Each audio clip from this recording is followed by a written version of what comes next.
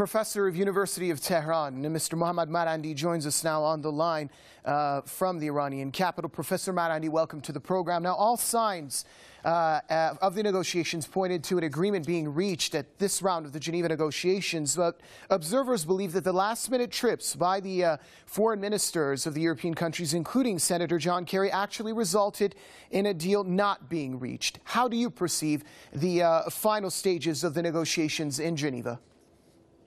Well, it's difficult to uh, give an accurate analysis from afar, but I think that uh, uh, it's possible that uh, the Western governments, uh, the British, the French, and the Americans, as well as the Germans, uh, they sent their foreign ministers in order to put pressure on Iran to accept uh, a deal that's really not in Iran's interest. And I think that uh, the fact that the Iranian delegation uh, did not submit to any unreasonable demands made by uh, Western regimes and governments shows that, uh, contrary to Western expectations, that Iran, uh, after the new government in Iran coming to power, is going to relinquish uh, Iranian rights with regards to its uh, nuclear program.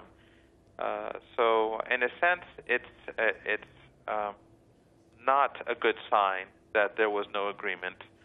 Uh, but on the other hand, I think it is a good sign uh, because it shows that the Iranian delegation does speak from a position of strength, and the Iranian delegation uh, is adamant that the rights of the Iranian people be preserved. And I think that in the long run, without a doubt, uh, the Iranian um, uh, position uh, will be not only safeguarded by our uh, representatives, but also I think Western countries will finally have to come to the recognition that no matter what um, government comes to power in Iran, uh, they will have to recognize the Iranian government's insistence for Iranian rights to be preserved.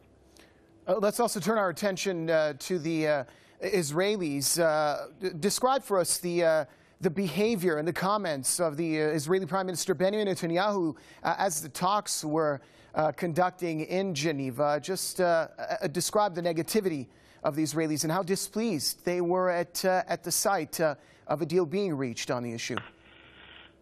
Well, again, it's very difficult to say because, on the one hand, it could be sincere anger, and of course, the Israeli regime's prime minister is a very uh, irrational and uh, silly character at times. But uh, but then again, it could be, um, in, in eyes of some, uh, a good cop, bad cop uh, sort of situation. Uh, really, the important thing is not what the French foreign minister says or what the Israeli regime's prime minister says. The important thing is that uh, Western countries uh, are going to have to slowly come to this recognition that the Iranian delegation, no matter whether it's uh, Undersecretary of State, uh, the U.S. Undersecretary of State, or the Secretary of State, or the U.S. President who participates in these sessions, uh, the Iranian side is not going to relinquish any of its rights within the framework of the NPT. The Iranians are willing to be um, uh, flexible. The Iranians are willing to give extra access uh, to uh, help resolve any ambiguities that may exist with regards to the Iranian program, assuming that uh, the questions Western countries have are sincere, and there's great doubt about that.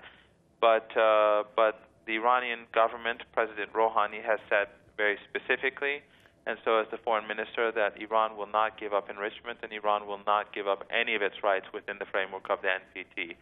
So Western countries may be slow in recognizing this, but I think as time goes by, they will begin to recognize the seriousness of the uh, Iranian side. Thank you very much, uh, Professor of the University of Tehran, Mr. Mohammad Marandi, uh, for sharing your thoughts with us here on Press TV.